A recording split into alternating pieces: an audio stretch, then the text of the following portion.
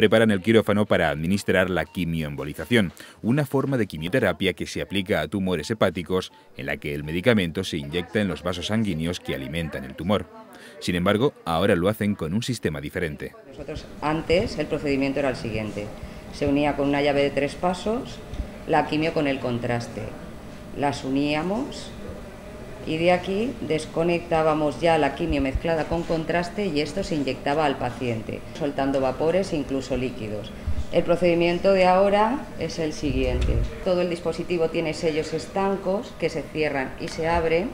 Cuando nosotros queremos hacer la mezcla, simplemente se giran las llaves y se mezclaría de la misma manera, pero en ningún momento hay ninguna fuga de líquidos ni vapores.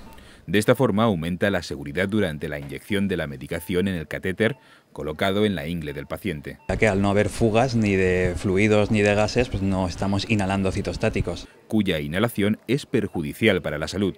Por tanto, con este dispositivo se evitan situaciones de riesgo derivadas de la manipulación del sistema. El sistema surge porque en un periodo determinado realizamos muchos procedimientos de este tipo, entonces empezamos a, notar que el sistema que usábamos no era seguro porque veíamos cómo salían líquidos, cómo salían vapores y notábamos ya un poquito de mm, pues, sabor metálico en la boca. Empezamos a movilizar con la supervisora, al servicio de prevención y empezamos a ver todo lo que había en el mercado que nos pudiese un poco eh, servir para la técnica que realizábamos, hacerla más segura. Además, al minimizar el número de conexiones y desconexiones de jeringas con citostáticos, el tiempo de exposición a la irradiación del paciente también se reduce un 50%. Igualmente, la seguridad en el desecho de los citostáticos es mayor con el uso de este dispositivo. Utilizamos un cubo azul en el que se tira todo lo que se utiliza en la quimioembolización,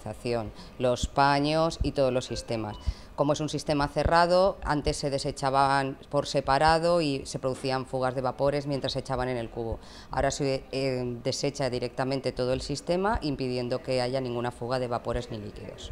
Un sistema registrado como modelo de utilidad que ha patentado el Instituto de Investigación Sanitaria La Fe y por el que se han interesado profesionales de otros departamentos de salud e incluso de otros países.